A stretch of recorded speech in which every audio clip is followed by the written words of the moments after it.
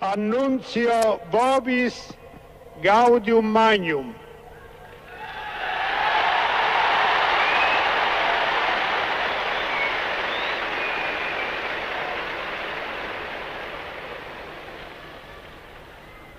Abemus Papam.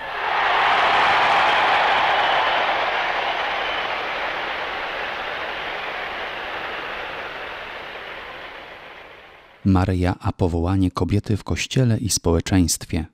Katecheza świętego Jana Pawła II, wygłoszona 6 grudnia 1995 roku. Jak już miałem sposobność wyjaśnić w poprzednich katechezach, rola powierzona Maryi w zbawczym planie Bożym rzuca światło na powołanie kobiety w życiu Kościoła i społeczeństwa, ukazując różnice, jakie dzielą ją od mężczyzny. Wzór, jaki stanowi Maryja, uwydatnia bowiem specyficzne cechy kobiecej osobowości. W ostatnich latach pewne prądy ruchu feministycznego, mające na celu wspomaganie emancypacji kobiety, dążyły do zrównania jej we wszystkim z mężczyzną. Bóg jednak, zgodnie ze swym zamiarem, objawionym w stworzeniu, pragnie, by kobieta miała taką samą jak mężczyzna godność i wartość, ale jednocześnie podkreśla jej odrębność i specyfikę. Tożsamość kobiety nie może polegać na tym, że będzie ona kopią mężczyzny, skoro obdarzona jest specyficznymi cechami i własnościami, nadającymi jej autonomiczny charakter, który należy zawsze promować i rozwijać. Wspomniane cechy specyficzne kobiecej osobowości znalazły swą pełnię w Maryi. Pełnia Bożej łaski sprzyjała bowiem rozwinięciu się w niej wszelkich naturalnych zdolności, typowych dla kobiety. Rola Maryi w dziele zbawienia jest całkowicie uzależniona od roli Chrystusa. Pełni ona jedyną w swym rodzaju funkcję, niezbędną, by mogła się wypełnić tajemnica wcielenia. Macierzyństwo Maryi było konieczne, by świat otrzymał Zbawiciela, prawdziwego Syna Bożego, ale również doskonałego człowieka.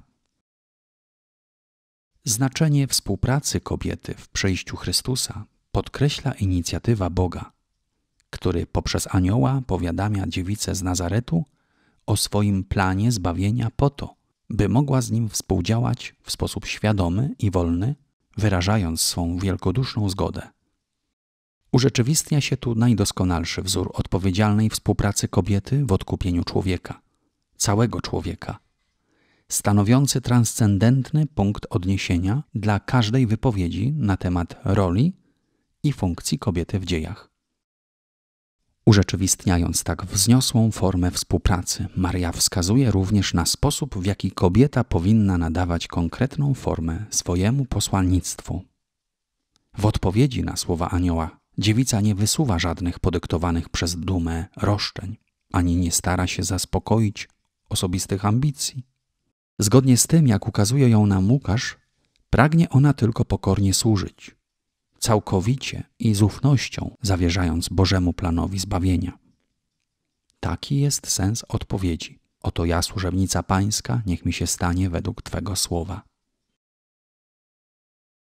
Istotnie, nie jest to z jej strony tylko bierne przyzwolenie, jako że wyraża ona swą zgodę dopiero po przedstawieniu trudności, jaką było postanowienie, że zachowa dziewictwo aby w sposób pełniejszy należeć do Pana. Po wysłuchaniu odpowiedzi anioła Maria natychmiast wyraziła swą zgodę, zachowując postawę pokornej służby. Biorąc przykład z Maryi, wiele kobiet pełniło i nadal pełni w Kościele pokorną, bardzo wartościową służbę na rzecz szerzenia Królestwa Chrystusowego. Postać Maryi przypomina dzisiejszym kobietom wartość macierzyństwa – nie zawsze we współczesnym świecie wartość ta znajduje sprawiedliwą i zrównoważoną ocenę. Niejednokrotnie konieczność podejmowania pracy, aby zaspokoić wzrastające potrzeby rodziny oraz błędne pojęcie wolności, dopatrujące się w opiece nad dziećmi przeszkody dla autonomii i możliwości samorealizowania się przez kobietę, przesłaniają znaczenie macierzyństwa dla rozwoju kobiecej osobowości W innych przypadkach z kolei biologiczny aspekt reprodukcji stawał się tak ważny, że spychał na dalszy plan inne istotne możliwości, jakimi dysponuje kobieta, by wyrazić swe wrodzone powołanie do bycia matką.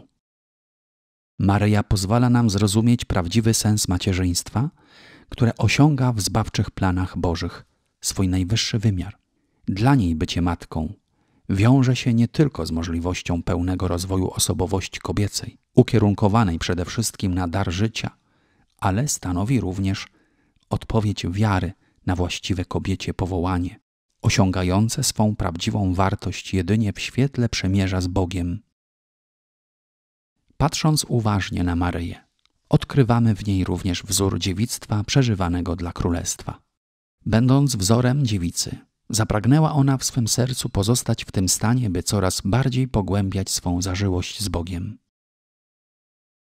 Kobietom powołanym do dziewiczej czystości Maryja ukazuje głęboki sens takiego szczególnego powołania, zwracając uwagę na duchową płodność, jaka się z nią łączy w planach Bożych. Na macierzyństwo wyższego rzędu, macierzyństwo według ducha. Macierzyńskie serce Maryi, wrażliwe na wszelkie ludzkie nędze, przypomina ponadto kobietom, że do rozwoju ich osobowości potrzebna jest miłość.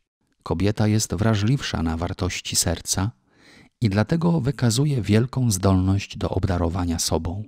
Tym wszystkim, którzy w naszej epoce proponują egoistyczne wzorce realizacji osobowości kobiecej, jaśniejąca świętością postać Matki Pana ukazuje, że jedynie poprzez uczynienie z siebie daru i przedkładanie potrzeb bliźnich nad własne można autentycznie urzeczywistnić Boży plan we własnym życiu.